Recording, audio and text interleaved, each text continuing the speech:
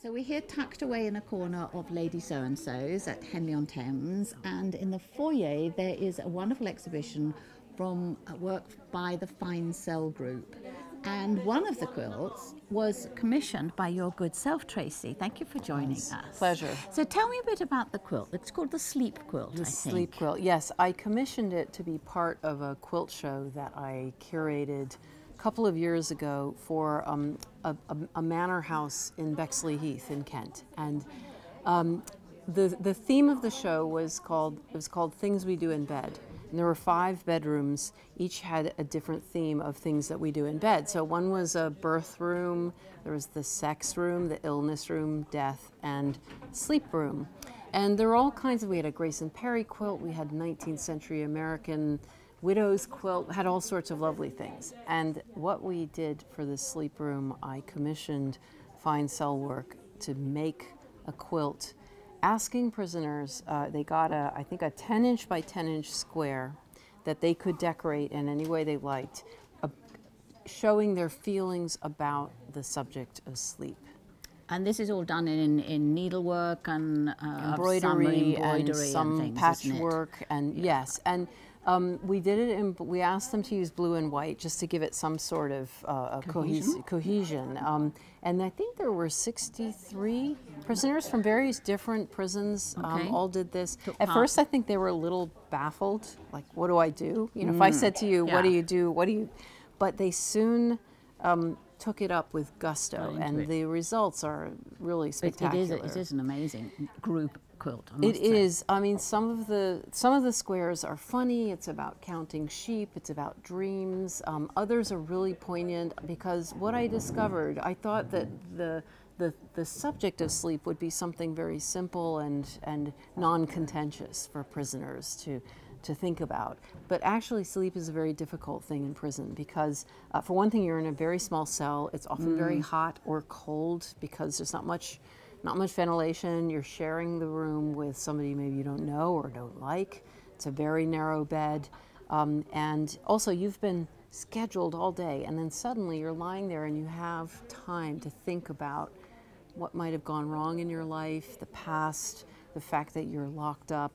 It all comes down on top of the guys. Mostly it was men who, who responded, though a couple of women. And it was very, really poignant to see this. There are a lot of tears in the squares, not just humor, but a lot of actual feeling of guilt and remorse and dreaming of escape and of, of getting out and worries about family. It all came out in it. Some of the volunteers from Fine Cell Work who worked with the men and women to, to help them design the, the squares were really moved by it and said some of the some of it what came out was really cathartic for a lot of a lot of the prisoners.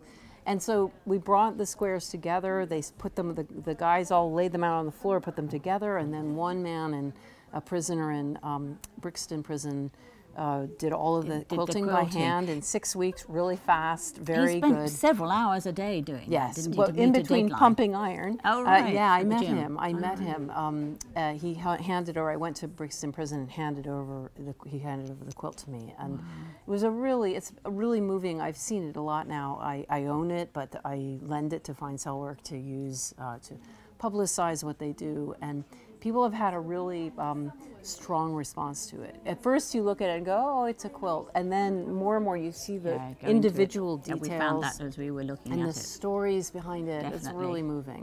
Definitely. Well, the quilting's been part of my life for many years, but you're quite a newcomer to it. Yeah, I'm a baby. but you're saying that it's it's beginning to, to trickle into lots of different corners. Well, I, I learned how to quilt because um, last book, the book since uh, a couple of books ago, I was researching a book, a novel set in 19th century Ohio, and my main character is a quilter. And I thought if I'm going to write about somebody who quilts, I need to learn to do it myself so that it's, I'm more accurate about what I write. And, uh, and I, um, I found that I kind of liked it. And I continue to do it. I think it's partly because my brain is full of words all day from writing. And, um, and it's really fantastic to do something that is nothing to do with that. It's completely visual.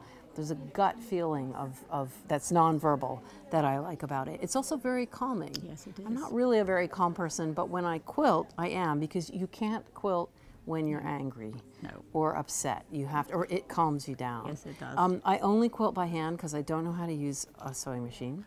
So it's all hand done. very rhythmic yeah. too. Yeah, it's very it by hand. rhythmic, and I sit Just and just do it absorbing. relax. My cat comes and sits on my knee, and um, so I've made a couple of larger quilts, and then I uh, recently have been a kind of creative partner with the the Bronte Parsonage in Haworth in Yorkshire. Um, uh, helping to celebrate Charlotte Bronte's bicentenary, which is April 21st. And um, I commissioned a, um, uh, an artwork that now has a little quilt I made for it, uh, for Charlotte Bronte on it. And I also have, have um, uh, curated a quilt show. I asked Yorkshire quilters to respond to a line from Jane Eyre that says, Splendid shreds of silk and satin. And these miniature quilts, there are 56 of them, came in, flooding in, and we've just put it up at the um, museum in Halifax called the Bankfield Museum. So that's up for a couple of months, April 16th to June 11th.